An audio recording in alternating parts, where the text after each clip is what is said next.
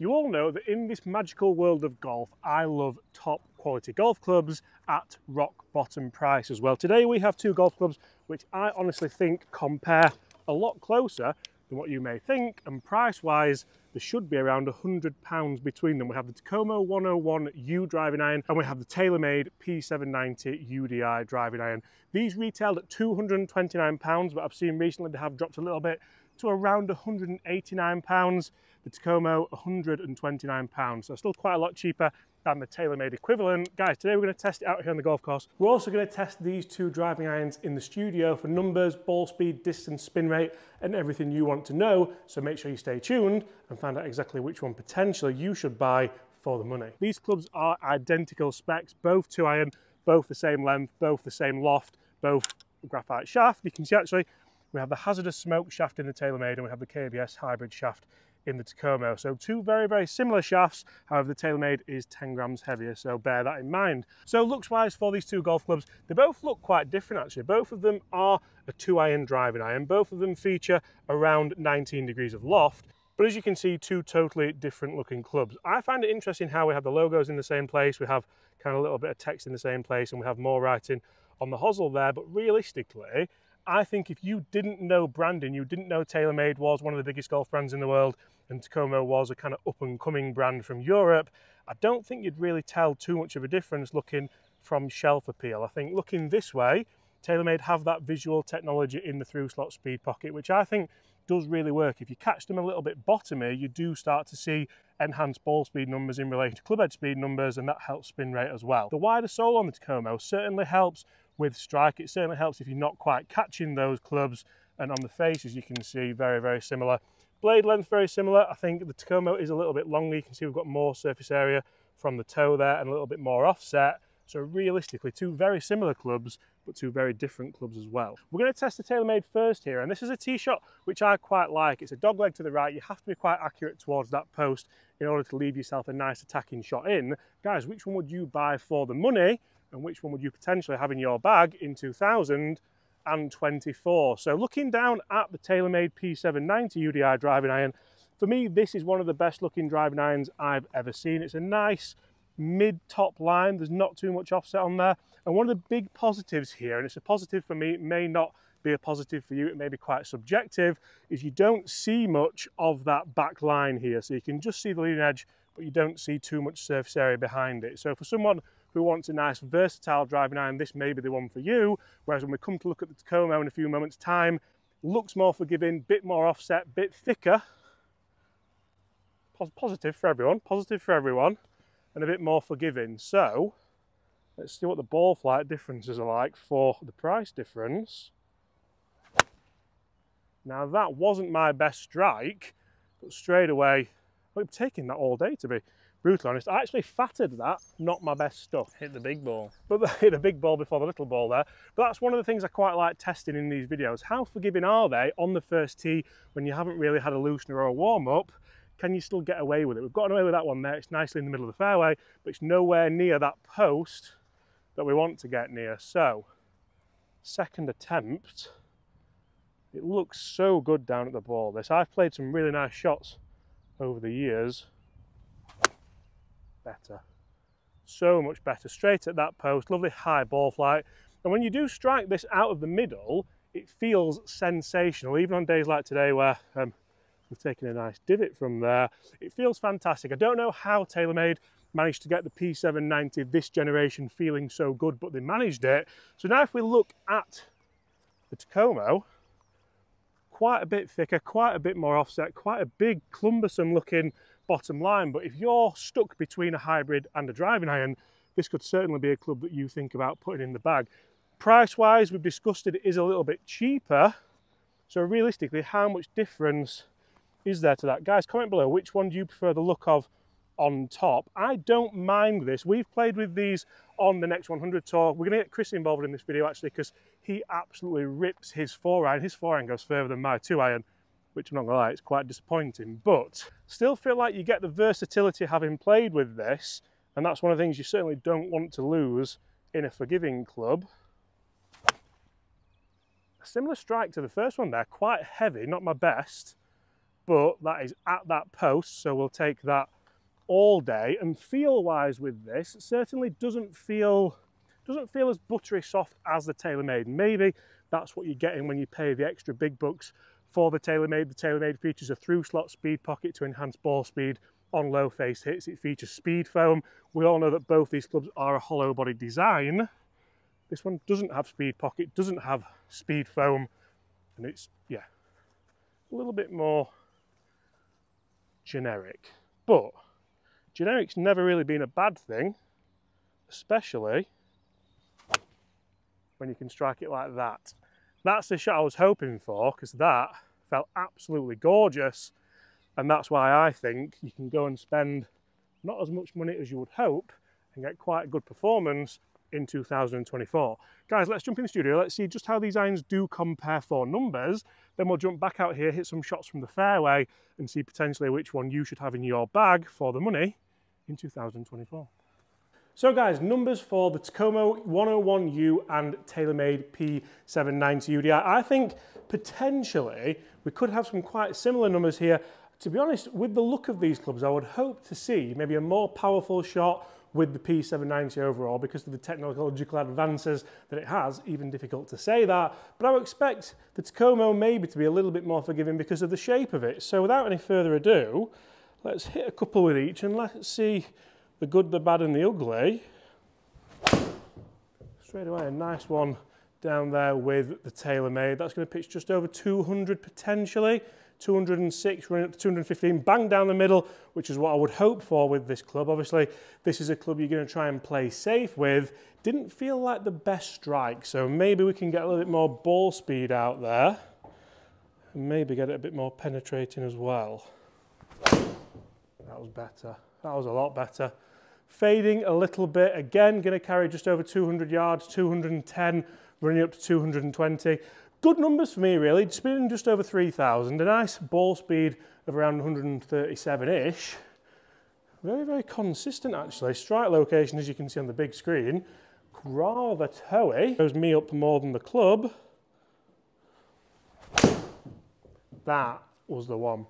I can't hit it longer than that. I've pulled it a little bit, de-lofted it a little bit, Wow, that's carried 235. It's gone in the rough, finished 237. Spinning at 3,000 again, so still maintaining good spin rate no matter where I strike it on this face, which I do quite enjoy. One more of them would be nice. I can't hit this club any better than that. To say I've not pulled that and that's straight down the middle of the fairway, pitching 217, running up to 230 yards, I could safely call this a 220 yard club for me, which I think hitting off the tee as a little bit of a safety club would be perfect. Now let's swap it out for the Takomo 101U. It has some pretty hefty boots to fill. Can this get past the TaylorMade? Some pretty big boots to fill. Now that didn't feel like a great strike. Is it going to carry as far? It's carried 196. It wasn't the best strike. It was quite bottomy. Spin was up at 3.7. Ball speed was right down there, sub 130. So not the best ball speed in relation to the hit. Lovely and straight that time though. And that one's up there with the TaylorMades. Is it 203 carry? Not quite as far yet again as the TaylorMade similar to the left one that hit with the Tema. So hitting similar shots here. And the Takomo is struggling for distance actually with numbers. Out on the golf course, you don't perhaps see it as much, but in here, we're not quite getting the ball speed that you would anticipate that results in the distance. But this time, wow. That is so much lower than any of the other ones and that's up there 216 carry 235 total the longest shot of the day spinning sub 2000 so if you do put a good swing on the Takomo 101U you can get it out there as far as anything but consistency wise I think it's fair to say the Takomo can't really keep up with the TaylorMade and that's as good as I've got. That one's gone a bit higher. Is this one going to carry over 210 it's still in the air. It's a 220 carry 230 total once again.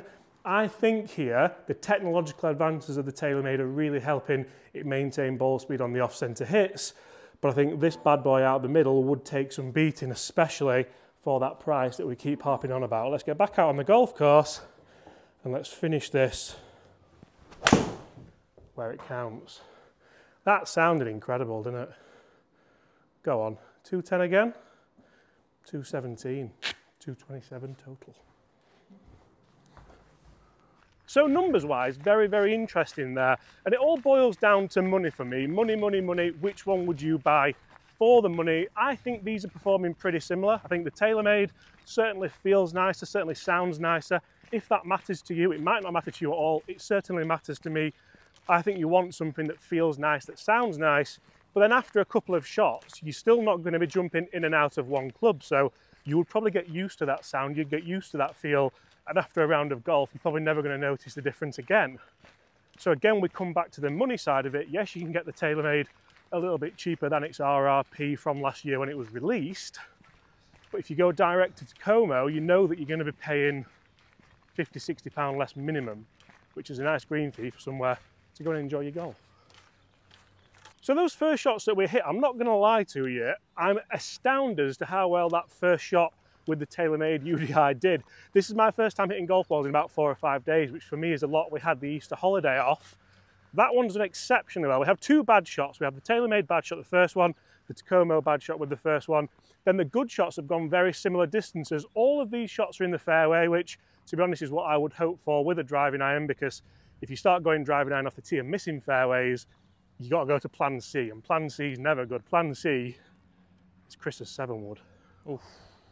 So one of the big things I always want from a driving iron, and I want it from irons that I would play as well, is versatility. Forgiveness is very important, but I also want to be able to play the shots that I'm going to play out on different golf courses, out on links golf courses. So versatility for me means being able to move it right to left, move it left to right, but also hit it nice and low and penetrating when I would want to do. I think you're going to be able to do that more potentially with the TaylorMade UDI just because of the makeup, just because of that leading edge, and just because of how the CG is located in the head.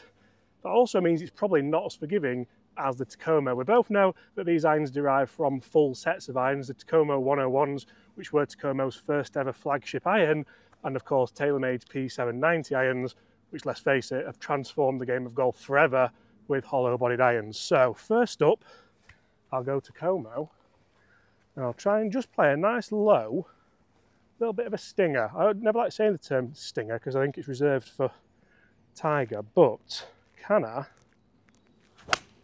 Oh, that's delightful. That's really nice. Lovely low fading stinger right down the middle of the fairway. Perfect turf interaction, what I would want with this club. And I sort of know I can play that because we've played so many links courses with these golf clubs. We've done it loads and loads of times. Chris has done it, I've done it, you've done it really, really well, haven't you? Throughout the time. Now it's just a case of can we match it with the TaylorMade? I would like to think you can for versatility. Oh, delightful. Two shots exactly the same. I feel like actually the Takomo surprised me a little bit there because I could still play it low. I could play it, to be honest, as low as I would want to, but still have the forgiveness of that leading edge on the bottom. Two very interesting results here. We have the Takomo ball on the left, which is more central and a little bit further. The TaylorMade ball on the right-hand side, which was a little bit more movement on it. It actually went a little bit higher as well. I felt like those two golf swings were very, very similar. The path will have been quite steep and a little bit to the left in order to get that de-lofted ball flight. I'm going to take both of those all day, but the big shock there for me was just how versatile the Takomo was to say that it's got such a big bottom line and to say that it is so forgiving. Hitting these two clubs out of the rough, I feel like this is really where the Takomo can come into its own. It's got a much wider sole, a little bit more offset, and probably quite a lot of forgiveness to boot as well. So if we go with that first, the first thing you would say here in the rough is if you're going to hit a two iron, albeit a driving iron, but still a low lofted club, you have to have an okay lie. You can see I've given myself some pretty good lies there. They're not exactly teed up, but they're not sat down either, because to be honest, you wouldn't attack a shot like that if it was sat down. You'd go more loft, you'd probably go hybrid or maybe even seven wood. Chris would definitely go seven wood, wouldn't you? So more, just over 200 yards out here uphill, front edge of the green, I'd take all day long. I feel like control-wise with the Takomo, you'd be quite happy especially with a shot like that. It's all over the flag if it gets up there.